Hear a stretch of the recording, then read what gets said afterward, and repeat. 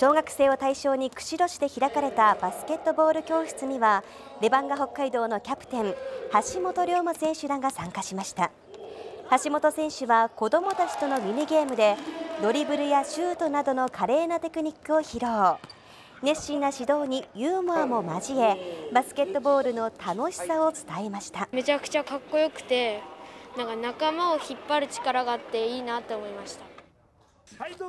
一方、夕張市では初競りで2玉300万円で落札された夕張メロンが先着100人に無料で振る舞われました。すごい美味しいです。明日も先着100人に無料で提供されます